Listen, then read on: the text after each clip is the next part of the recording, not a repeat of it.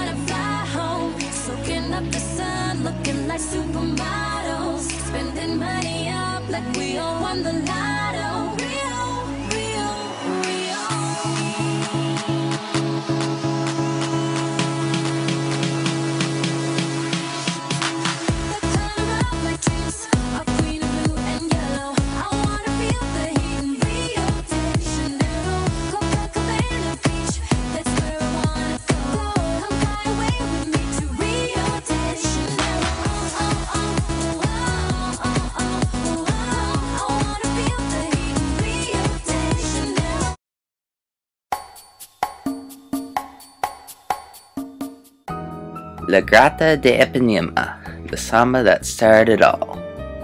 This is Rio de Janeiro, the city of samba. Now, I am Daniel LaRue, your host for the Rio DJ, and I will tell you all about Rio de Janeiro and what it really means during samba. Samba is inspired by many different genres which we will learn about. You will learn about the many different genres that have evolved from it as well. Now, Rio de Janeiro is in the heart of the Brazil, where samba started with this song, The Girl from Ipanema, or De Garota de Ipanema, eh, for Portuguese.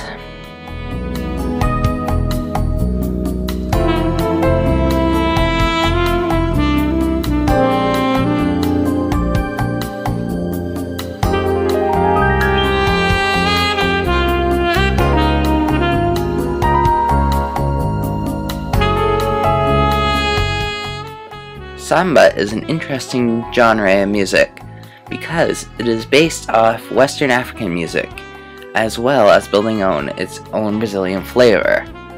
Now, this music is one of my favorites, and it is very interesting because it's relatively easy to create, and you can use as many different instruments as you want to make it your own unique blend. Samba was based also off the beating of the heart because it is supposedly a music that was created to be used in dances and used for lots of different things, including clubs and everything. So they based it off something, the heartbeat, to represent the love between two people. This is a very interesting, unique way to develop music. This has been used in many different types of music. Now, Rio de Janeiro is famous for samba because it's where it originated. The Grotto de Ipanema originated in a bar in Brazil on the beach of Ipanema. Ipanema Beach is a famous beach, and there's also one other beach in Brazil called Copacabana Beach in Rio de Janeiro. These beaches are two of the most famous beaches in the world. Now, these two beaches are found both in Rio de Janeiro, which is an interesting fact.